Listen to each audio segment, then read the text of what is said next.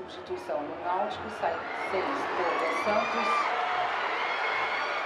e entra 16 Jornal.